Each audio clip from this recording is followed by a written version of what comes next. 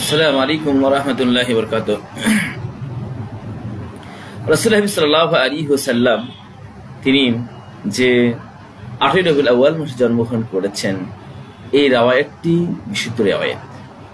শুধুই নয়, এই রাওয়ায়তের ক্ষেত্রে ইমাম মালিক রাহিমহুল্লাহ কথা রয়েছে, ইমাম মাজুহুর রহমুল্লাহ বক্তব্য রয়েছে।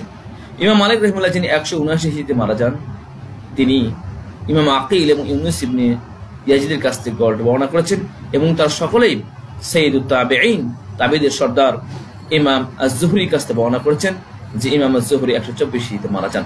এবং তার ব্যাপারে ইমাম সোহাইলি রাহিমাহুল্লাহ, যিনি পাঁচশো একাশি হিজড়িতে মারা যান, তার বিখ্যাত গ্রন্থ আরোজুল আনফে তিনি বলেন যে ইমাম আজহুরি সর্বপ্রথম সিরাত গ্রন্থ রচনা করেন।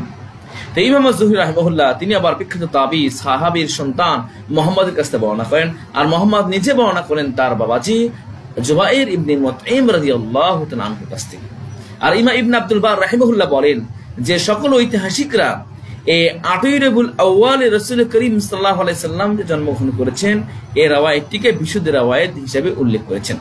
এমনকি আবুল খাতাব ইবনে তাহিয়া রাহিমাহুল্লাহ, যিনি ছয়শো তেত্রিশ হিজড়িতে মারা যান তার বিখ্যাত গ্রন্থ আর তানবীর হিমরুদিল বাশির নাদির এই গ্রন্থে তিনি বলেছেন যে রসুল করিম সাল্লাহ আলী সাল্লামের জন্মগ্রহণের তারিখ নিয়ে যে মতবিরোধ রয়েছে এই সকল মতবিরোধের ভিতর আড়াই রবুল আউ্য়াল মাসে রসুল সাল্লাহ সাল্লাম জন্মগ্রহণ করেছেন, এটি বিশুদ্ধ রেওয়ায়াত।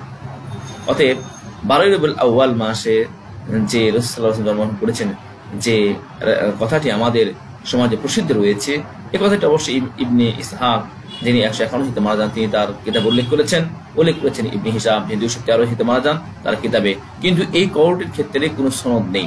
সনদহীন কল আর সনদহীন যে কোনো কথা, যে কোনো বক্তব্য অগ্রহণযোগ্য হিসাবে সকলের মহাদ্দেশ মুফসর নিকটে স্পষ্ট।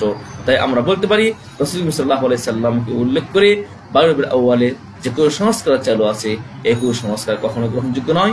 কেননা বারোবের আউ্য়াল মাসে যে রসুল জন্মগ্রহণ করেছেন, এটি স্পষ্টভাবে সত্য নয়। তাছাড়া এই কাজগুলি রসুল্লাহ সাল্লাম এবং সাহাবি থেকে প্রমাণিত নয়। তাই এই কাজগুলি করা কখনোই গ্রহণযোগ্য নয়। আল্লাহ সুবাহ আমাদের সকলকেই সকল প্রকার বেদাত, সকল প্রকার কুসংস্কার থেকে বিরত করতে দান করুন।